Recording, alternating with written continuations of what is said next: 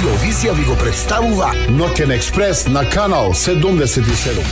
Не сакам да излезе дека го идеализирам австралискиот политички систем или австралиското политичко општество, но кога ќе направам споредба со ова што го гледам тука, ова воопшто не ми изгледа мене на изборна кампања или на некоја борба на идеи, на вредности на политики, повеќе ми изгледа како една театрална борба меѓу добрите и лошите, зависно од која страна се гледани. И ретко кој човек што сум сретнал кој што им верува било на едните или на другите, но секој навива за еден или за друг, како на нема- филм. Го нема Мислам- гладиаторски момент таму во Австралија.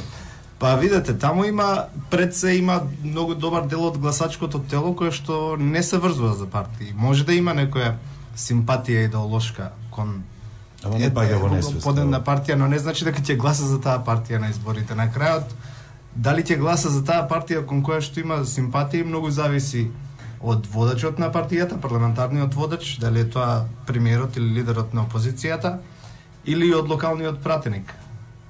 Голема улога игра тоа, затоа што се гледа не само каква политика нудат партиите, туку колку кредибилитет имаат луѓето кои што ги нудат тие политики и колку може да се очекува дека тие конкретни личности кои што ја водат партијата или а, кампањата, да речеме, на локално ниво во тој момент, се мож, колку нив може да им се верува дека ќе се задржат на зборот. И новинарите пред се, медиумите, сериозно се занимаваат со тоа дали некој лаже или дава ветување кои што не може да ги исполни. А, правата анализи ги споредуваат по стварливоста, им копаат по Па пред се не може некој да дава само празни ветувања што ќе прави што ќе им даде на граѓаните, како ќе ги вработи или колкави плати ќе им даде, кога зборуваме за пазарно општество, слободен пазар, каде што нели мнозинство треба да се во приватниот сектор вработени и тоа да го прави без воопшто да постои некоја независна анализа, да речеме, на буџетот, да се види од каде ќе дојдат тие пари.